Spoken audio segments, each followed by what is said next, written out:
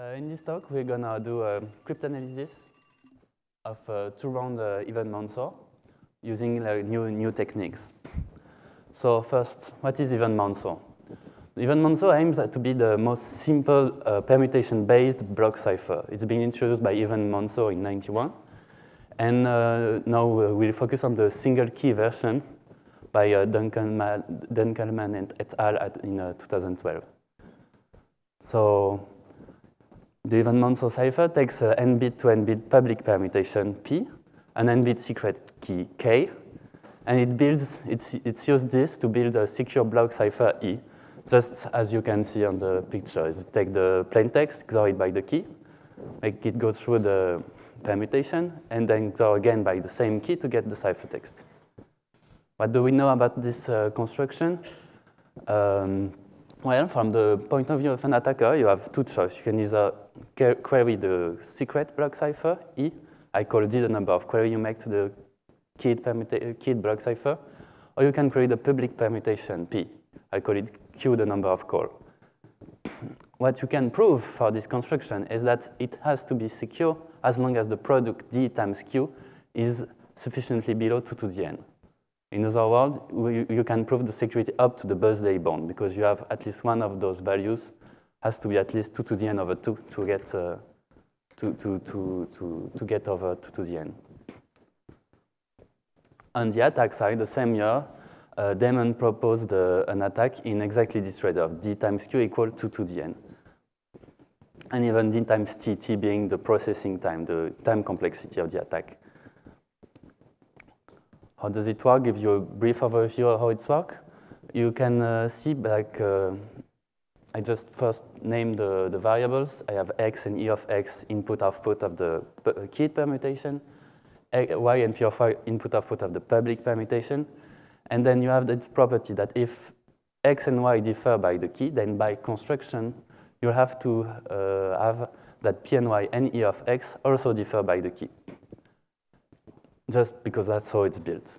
And uh, if you sum those two, um, th those two, uh, two, equations together, you get that this, the sum of every uh, variable, ex plus e of x plus y plus p of y, must have to be zero. Then the attack is just a collision search, right? you can define uh, two functions, uh, x, x, plus e of x, and the other one y plus p of y. And if you find a collision between those two functions, you get a good guess for the key because you found a, a, a, pair that satisfies the equation above. In other words, this means that there's no the, the collision searching. We know how to do it. We just do it in a it's a, it's a birthday bound. We know how to do it uh, uh, quite efficiently in terms of time. Just the time to read the, the, the, list. So there's really no gap between the best proof in attack in the one round Even-Mansour. However, we look at the, in this talk, we'll talk more about the two round Even-Mansour. What is it? Well, the, it's an extension by Bogdanov et al. in 2012. And the goal is to keep the construction simple, but secure beyond the birthday bound. What we know about it, we can prove the security up to 2 to the 2n over 3. However, when you look at the attack, the time complexity, the best time complexity of the attack is only 2 to the n divided by n, so arguably quite close to, the, to, to, to a brute force of the key. So you have, you have, you, you have this gap, significant, quite, quite significant between the, the best proof and the best attack. However, when you look at information theoretic attack, you have one with the trade-off d times q square equal to, to the 2n. So you could have uh, d and q being 2 to the 2n over 3, and, this get, and have an information to attack. You have enough information to recover the key. However, the best time complexity, the, the, the, the issue is not the data, but the processing time of this data. And we don't have anything better than 2 to the n over n. And it's even worse than that because often they use either a lot of memory, that much memory, or online data, which is arguably even hard to get than uh, processing power. And uh, in this talk, or with our new approach, we won't do better in terms of time. We're stuck at this 2 to n by n, but we'll mainly focus on memory and online data to reduce this to a more acceptable level. So what's our approach?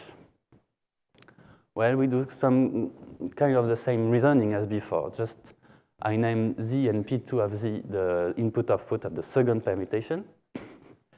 And now, same reasoning as before. I say no I, uh, for any triples, X, Y, Z. If I have a difference of K between X and Y and uh, also a difference of K between P1 of Y and Z, then by construction, I have the third one for free. I mean, the P2 of Z and E of X will differ by key. Now I won't sum them all together, but I sum them two by two. The one with the second, the, and the first with the second, and the first with the third one.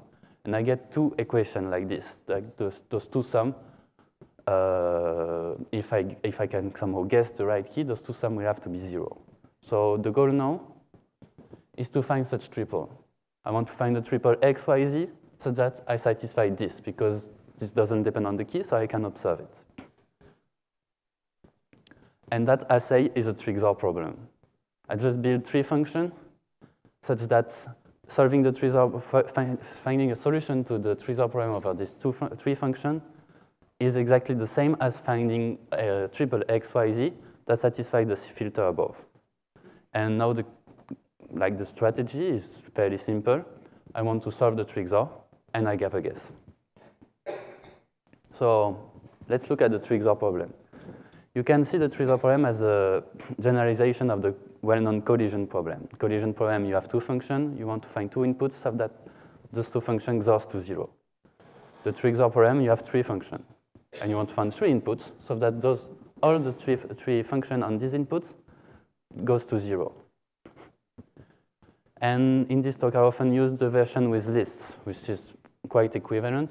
You're given three lists, and you want to find three elements of that list so that the elements goes to zero. You can think of building this list just by querying the function and having it stored in memory. So I have this definition of 3-XOR, and I show you that cryptanalysis of n bits of two-round Even-Mansour is, you can see it as a kind of 3-XOR with two n bits elements. What do we know about the solving the, this uh, instance of 3-XOR? Well, you can easily see for the random 3-XOR that you need to at least collect 2 to the 2n triples to have a solution with good probability. So that means one list must have at least be of size 2 to 2n over 3. On the other hand, if every list has of size 2 to 2n over 3, then I have enough triples. Could just, just go through all of them and find a solution. So we somehow have a, like a proof that you, I mean, you must need at least 2 to n over 3 uh, information and an information theoretic attack in the, that, that matches the proof. However, when you look at the best algorithm for the 3-XOR, you find like the best one, runs in time 2 to the n over n. And that's the exact same gap as, for, as we saw for the two-round Even-Mansour. So you already understand why we won't do better with this strategy in terms of time, but let's dive a bit deeper in the 3-XOR solving issue. We get two main techniques in the literature. One is uh, multi-collision-based techniques by uh, Nikolic and Sasaki. Uh, and the other one is linear algebra techniques, based techniques by Joux. And they have roughly the same asymptotic complexity, though combining them seems really not trivial. But you have it. On the other hand, in the two-round cryptanalysis, uh, two-round Even-Mansour cryptanalysis literature, except for one case, one exception, all previous cryptanalysis use multi-collision-based techniques. Even without knowing the links between the 3-XOR and the, this cryptanalysis, they all, nearly every one of them use multi-collision-based techniques. And so now that we have these links, we kind of want to explore more deeply what we could we do with linear algebra-based techniques for, doing, for cryptanalyzing this uh, true Even-Mansour? And the result is we could quite effectively reduce the underlying complexity and the memory at the same time, both that are already uh, uh, potentially more costly than processing time. So here you see the previous results and uh, four attacks I will explain later uh, in, in, uh, in, the, in our paper. Uh, first thing you can see is the, I've put in red all the complexity that is uh, close to 2 to the n up to log factor. And you can see in the timeline, uh, time column, everyone is red, and we don't really know how to do better than this. However, if you look at previous attacks, you get either the data or the memory uh, in red, even for any parameter you, can, you, you choose. Uh, however, in the last three one of our attacks, we can effectively reduce the data and the memory significantly, significantly below 2 to the n, while keeping in the known plain text uh, model. So let's go. So the strategy, I, remember, I recall it. We have three lists. I want to solve the 3-XOR over those three lists, and I have a, guess, a good guess for the key. That's it. And the simple one so is linear algebra-based techniques or Joux's techniques. And I'll explain it right now. So Joux's techniques require one of the lists to be quite small. You have take the first list, you only need n words, each word being of size 2, 2 n bits. So you, have a, you can see it as a n by 2 n bit matrix. And uh, the, the trick is to transform it. So you can echelonate column-wise this matrix and find a transformation matrix that will transform the list to like zero bits on the left and the identity matrix on the right. And the idea is that this transformation matrix being invertible, the transform problem with the 3-XOR with the transform lists will give exactly the same solution as uh, the original 3-XOR problem. And it's easier to work on the transform lists. Why? Because you know you have one list with only words that starts by zeros. So for the two other elements you want to find, you know that we'll have to uh, have a n-bit partial collision on them. And you, we know how to look for collision. It's easier than solving the 3-XOR. So it works like this. Compute the transformation matrix with, uh, with the first list. And then you transform your two other lists. You look for partial n-bit uh, collision between the two other lists. And you check if you have a solution for every partial collision you found. The complexities then is the you have the you, you, is just going through the biggest list. So you have a complexity uh, memory and computation of 2 to n divided by square root of n. And uh, you have to have those two other lists that big, big so, so, that the, the, so that you have at least 2 to the 2n triples. Because the first list is limited to n, n words. And so how does it translate for cryptanalysis? Just this. We, use, we solve the 3-XOR with these techniques, and we have our first attack. We obviously chose the, the, the, the, the small lists to be the first one because then we have a very low, already very low uh, non-plain text uh, online complexity of data. So we use very few data, and it's enough. And we have a competitive uh, cryptanalysis already. But we can do better, right? I just used the random 3-XOR algorithm on this, but we're not in the random case. You can see on the, on the, on, on the list that you, can, you, you, you, have some, uh, you have some power over the, over, over the value. If you want to stay in the non-plain text, then maybe you want to fix any value for x or e of x, but you can effectively control y or z, take any value we want. You can even do better. You can implement the inverse of the public permutation. And so you could have z prime and, p, uh, and the inverse of, uh, of, uh, of the second permutation on z prime. And now you can still control y and z prime without even having like it's just computation. You choose what you, what you query. And then what can you do? Well, imagine you have, uh, you, you, you're targeting an online complexity of 2 to the d. Then you will need to have uh, offline complexity of 2 to the n minus d over 2, so you get a solution with good probability. And so you can decide to only query y and z prime so that they end by d over 2 zeros. So it's just force the zero to align there. And what does it allow you to do? Well, it means that you already have a filter on the first words, and you can pre-selectively reject all the, all the values in the first list that doesn't end by zeros, because then it wouldn't be a solution. So you do just that. And the, the, what, you, what it gives you after clumping is reduced size lists. So instead of, of, of, uh, having a first list of size 2 to the d, you reduce to the d over 2. And the, the words size also is bit reduced. And now I can use any, any, any algorithm I want. So maybe I, I know, now I go back to literature and I look for algorithms that deal with arbitrary size lists. So I have more freedom.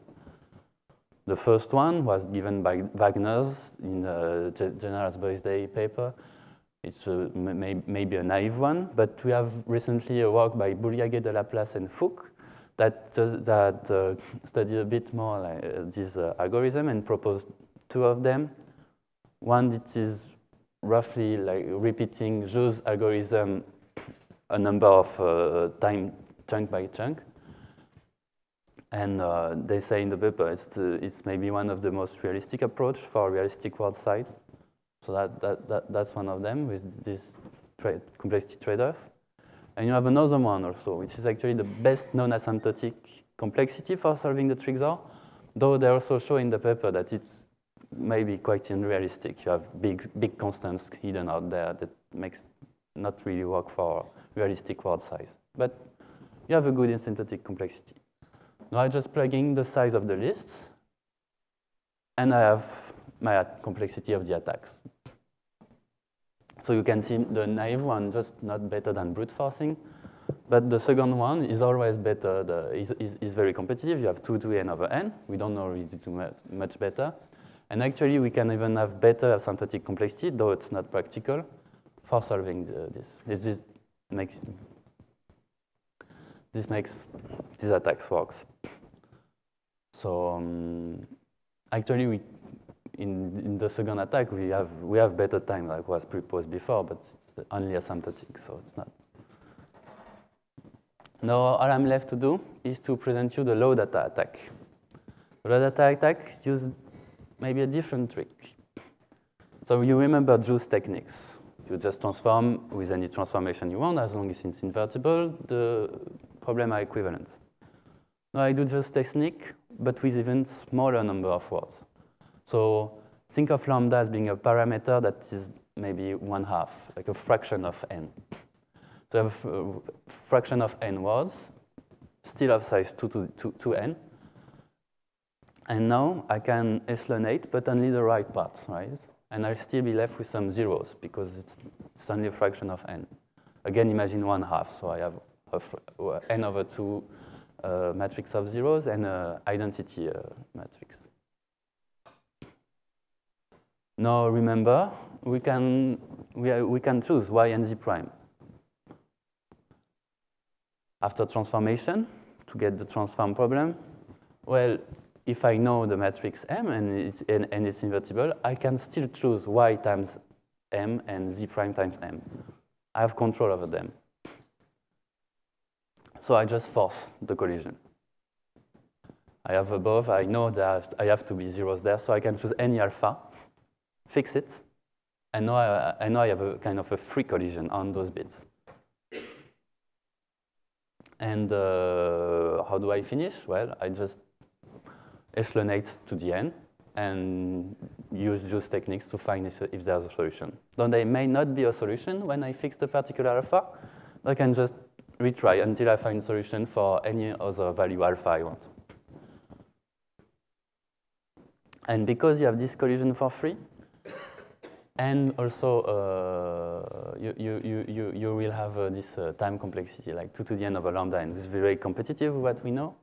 We have a very low data, like lambda n, and more importantly, the memory consumption, because they only contain uh, 2 to the lambda n elements, like remember I query for, I query for all the values uh, left the, on the right of the value alpha, so we have only lambda n bits of freedom.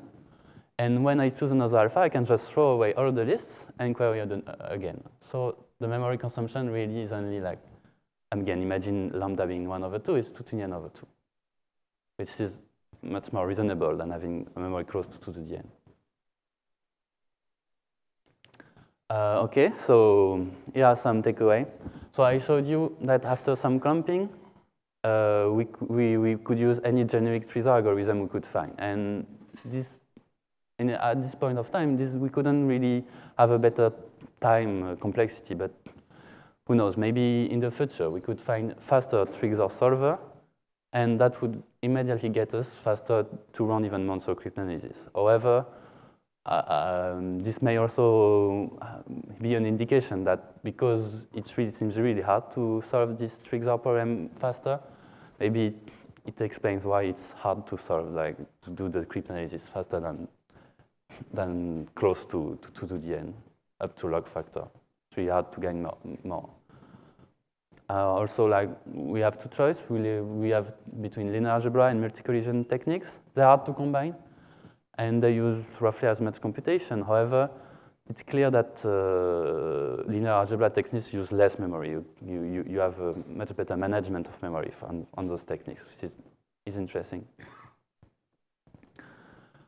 Uh, another remark, if you look at the low data trade-off, you have that this uh, d times t is really equal to 2 to the n, which is the same trade-off you find for the proof of the one-round Even-Mansour, which means that since obviously the, this proof applies to the two-round one, this means that this attack is information theoretically efficient only for this small like data range, the fraction of n. Uh, now, another remark. Uh, I've shown you that the two-round Even-Mansour, I can rewrite it as a 3-XOR problem with two n-bit elements. What about the three-round, four-round? Now, if I get the four-round Even-Mansour, yes, I can write it as a 5-XOR problem, just like this. It's a 5-XOR problem with four n-bits elements, getting bigger. And you can see there's very strong structure now. You have zeros popping up, and but who knows? Like in general, you can write uh, R on Even-Mansour cryptanalysis as a special kind of R plus one XOR with R times n bits elements. And maybe that's a good start to start thinking for new ways to cryptanalyze this, uh, this iterative construction. Uh, so this is my last slides. So we get uh, new cryptanalysis with new data uh, with new trade-off, with good management of data and memory. I've showed you to, to get to this, I showed you the link between the two round Even-Mansour and the 3-XOR problem. Could explore new linear algebra techniques, and uh, that's that's really like, uh, in in our opinion, we we could uh, we we could uh, have better complexity profile on the, really the bottleneck of previous attacks that were either the data or the memory usage. Thank you.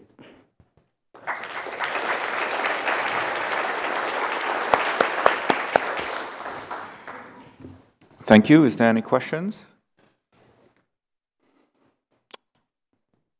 Yeah, there's one, yeah.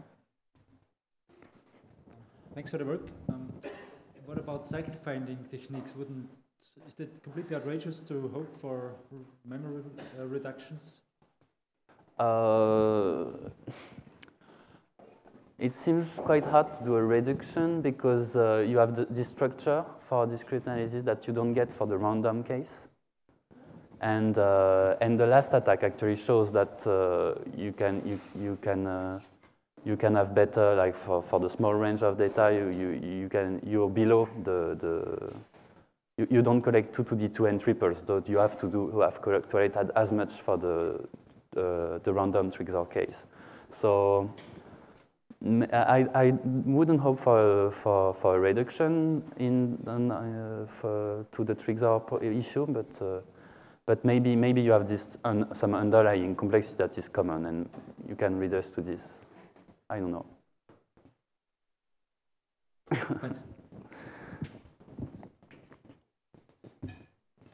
Is there any further question?